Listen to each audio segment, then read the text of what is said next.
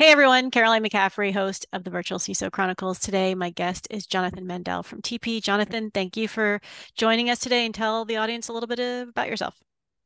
Yeah, absolutely. I'm the CEO and founder of Teepee. We're a managed service for third party risk management.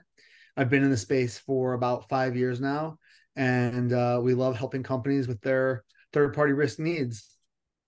I'm so excited. I can't wait to jump in. So if you're listening, please listen to this podcast on either Substack at the Security Expert Marketplace or on Apple Podcasts.